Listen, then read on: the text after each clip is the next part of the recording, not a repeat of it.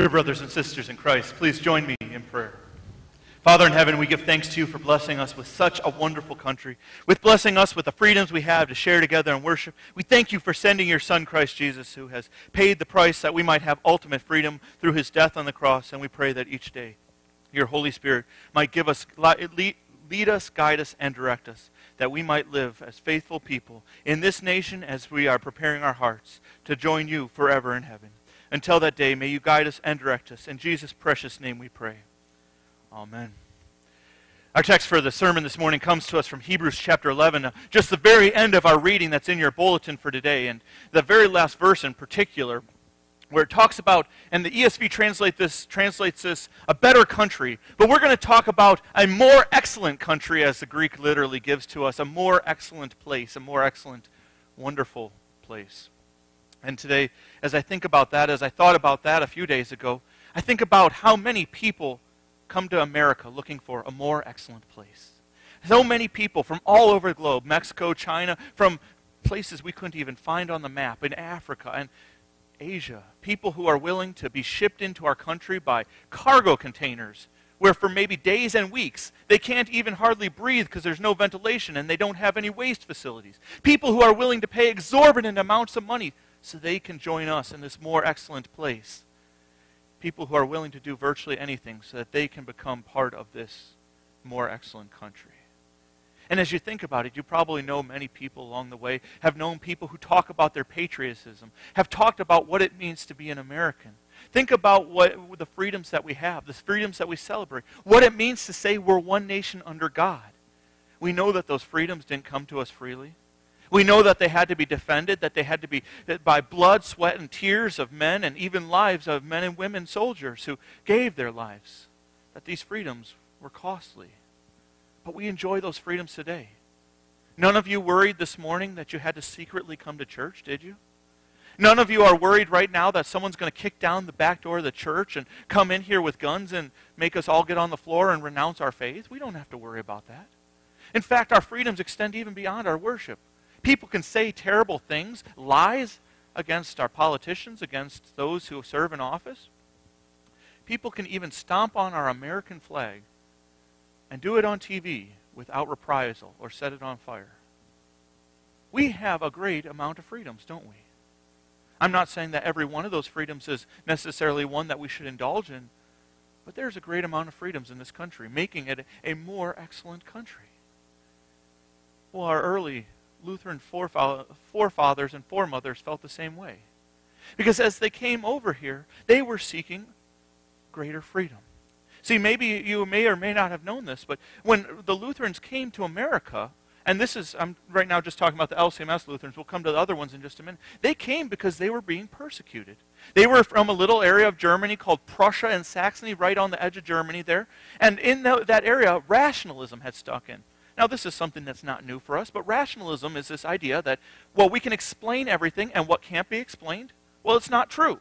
So if you look at the Bible with rationalistic eyes, you're going to say, well, could God create the world in seven days? Well, we can't fit it between our ears, so no. Could God rise from the grave? Could, well, could God take on human form? No. So there must be a rational explanation. And these Lutherans, the founders of the Missouri Synod, they didn't follow that line of thinking.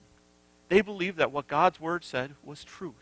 And still to this day, we hold to that very same promise. So in 1838, a bishop by the name of uh, Martin Stephan led all these Lutherans uh, across the sea up to, to the uh, Mississippi River and into New Orleans, where we left off a few Lutherans, and then the rest came up to Perry County, where we have the first Missouri Synod Lutherans in 1839. But actually, honestly, Christians and Lutherans were coming to America long before that for freedom. In fact, some of the some, we, we know for certain that within 20 years of the foundation of our country, there were already Lutherans here, but it's likely that there were those who fought in the Revolutionary War. Not just Lutherans, though, many Christians fought in that war. They fought for a more excellent place. To, they fought for freedoms from persecution. They fought for opportunities to defend and to stand up for what they believed in. And they fought and they gave their lives so that they might be able to enjoy sharing their faith, talking about their faith, living their faith, and knowing that they would not have to fear repercussions. It's pretty neat, isn't it? Because even though we can't say that we're a Christian nation, because we're not a theocracy, we're not, we, do, we don't have a ruler, God as king, but we could say we are a nation who was founded by Christians. We are a nation founded by Christians. Christian men and women who said that we would like to be under God. Christian men and women who, who said to themselves, we would like to establish a more excellent place that has God as its ruler, as its leader. Now, one of the things that's true also, though, is with every Christian, there's also a sinner, isn't there? Even as we have founded this country with great ideals and great plans, great opportunities, we know that every one of those Christians who founded the nation, who were part of the founding of the nation, were also sinners.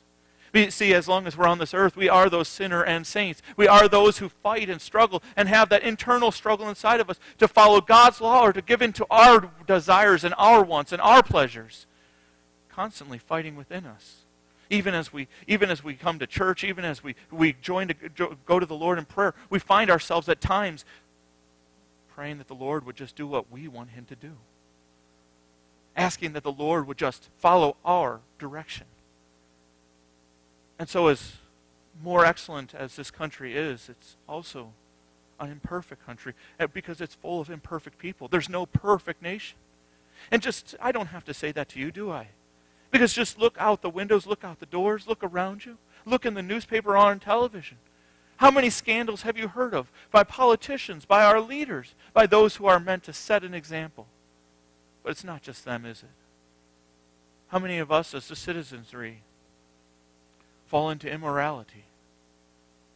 Fall into that desire that we want things our way? How many of us still see hate and fear, wickedness all around us? How many of us, on a regular basis, as Paul commands us in Romans chapter 13, pray for our nation and pray for our leaders? Now, if you go to Romans 13, and I encourage you to double check me on this, but if you go to Romans 13, you will see that Paul doesn't give us wiggle room. He doesn't say, pray for your leaders when you're happy with them. He doesn't say, pray for your leaders when they're doing exactly what they should be doing. He doesn't say, pray for your leaders when you voted for them. He says, pray for your leaders.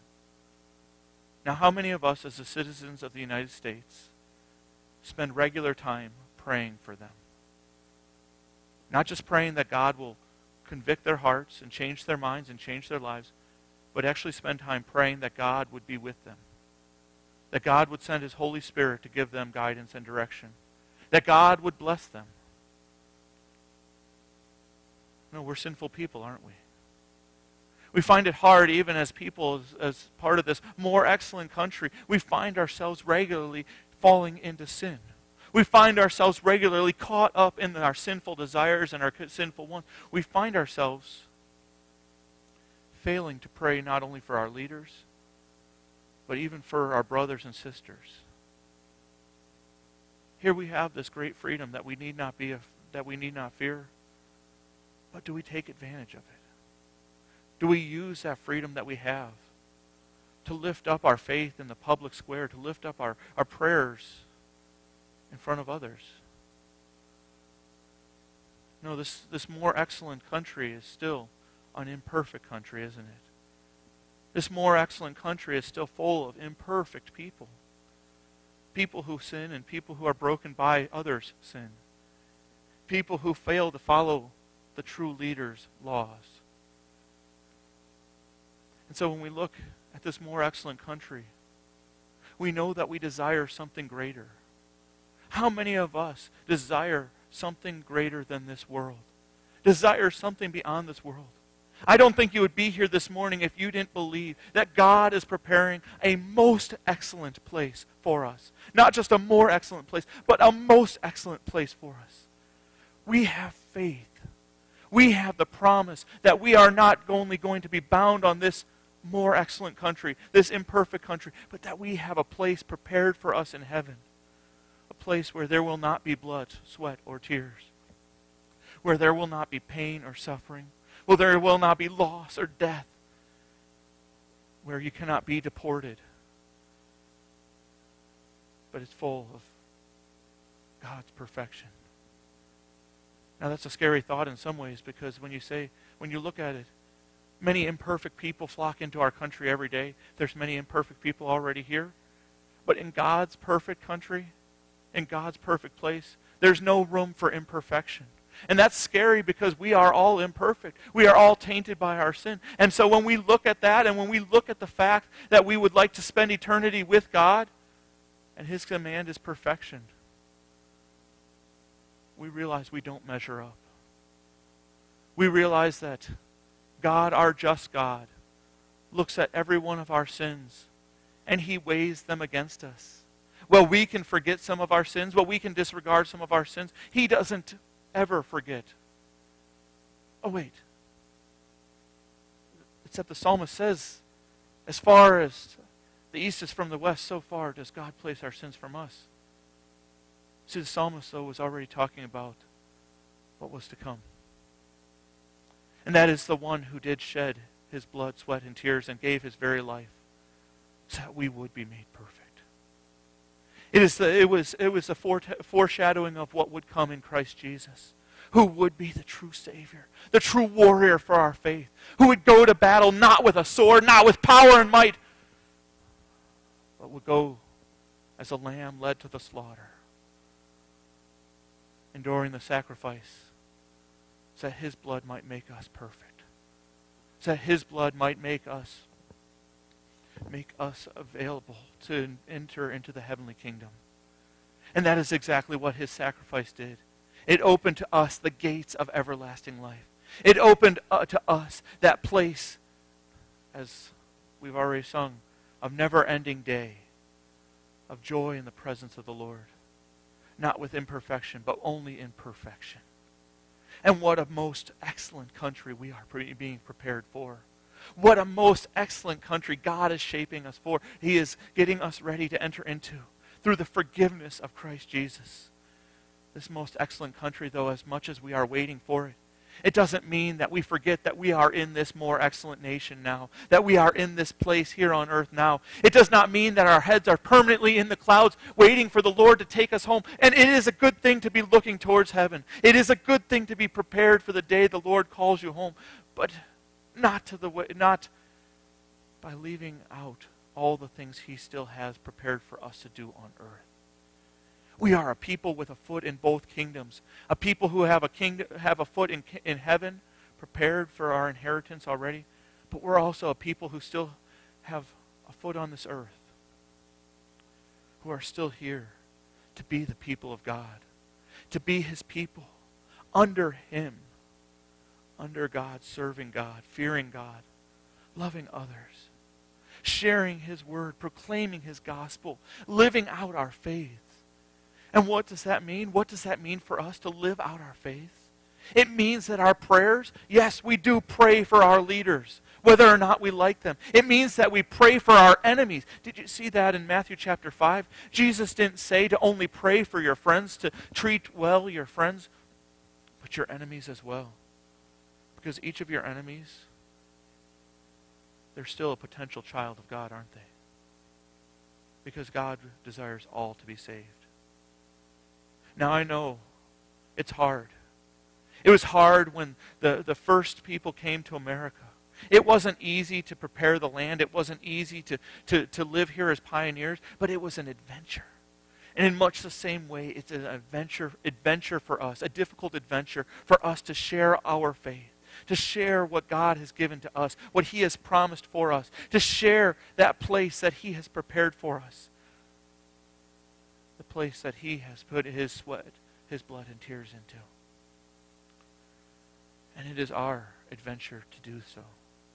It is our adventure to share that one nation as one nation under God, that He has prepared a place that is with Him, a place that with, will be that where we will share with Him forever.